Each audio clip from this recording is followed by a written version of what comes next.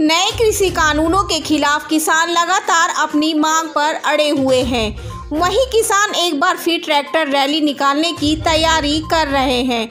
किसान नेता ब्रिजेश सिंधु ने कहा कि 15 अगस्त को हरियाणा के जिन शहर में ट्रैक्टर रैली निकाली जाएगी। पंद्रह तारीख के लिए दस अगस्त का क्या फैसला लिया आपने मीटिंग करके? पंद्रह अगस्त का हम पूरे शहर के अंदर एक बहुत बड़ी रैली निकालेंगे जिसमें झांकियाँ होंगी। सिर्फ़ खाली ट्रैक्टर होंगे हमारे वो भी खाली सिंगल ट्रैक्टर नहीं होगा।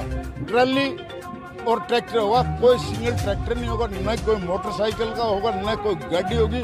उनके अंदर हमारे आदमी माताएँ बहनें और झांकियाँ हम शहर में निकालेंगे झंडा भारत का जो झंडा है राष्ट्रीय ध्वज है वो भी होगा और किसान का झंडा।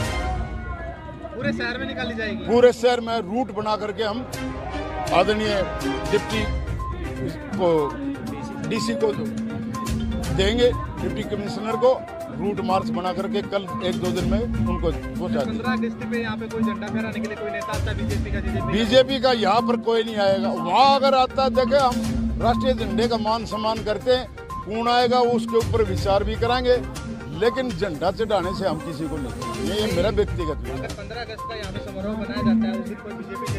देखिए देखिए, वो मेरा व्यक्तिगत विचार ये है, इस बारे में राष्ट्रीय झंडे का हम अपमान नहीं करेंगे बिल्कुल भी।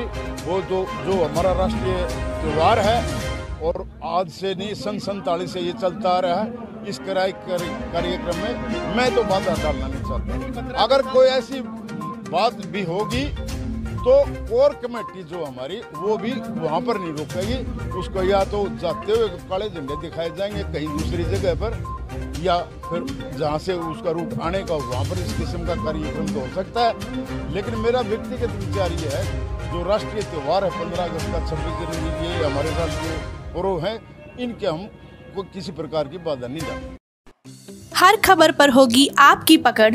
सब्सक्राइब करिए हमारे चैनल विद्रोही आनंद को और बेल आइकॉन दबाना न भूलिए।